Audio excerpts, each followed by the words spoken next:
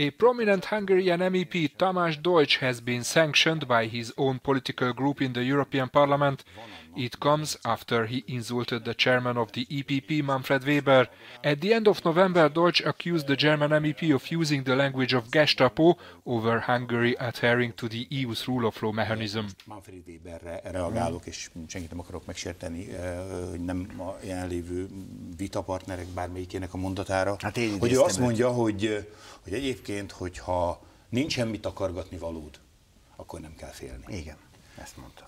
Én jól emlékszem, hogy a gestápónak, meg az ávónak ugyanez volt a jelszava.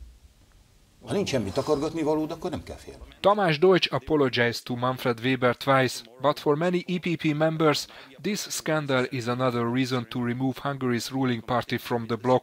One Polish MEP recalled the recent sex scandal of another Fidesz MEP, József Szájer. Well, I personally have nothing against people uh, going to uh, gay orgies or, or doing drugs in their free time, but we are somewhat tired of the hypocrisy of um, uh, pretending uh, to be Christian Democrats and all this family stuff and, uh, and, and this double life. Another EPP MEP called for the removal of Viktor Orban's Fidesz party from the group because of their attacks on democracy and freedom in Hungary. He also denounced apologies from It's, Mr. uh, Deutsch. It's, it's a tragic uh, farce.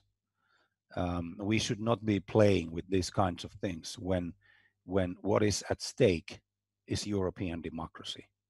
A- and I'm, I'm 100% serious about this. What we have at stake is democracy in Europe, nothing less, nothing short of that.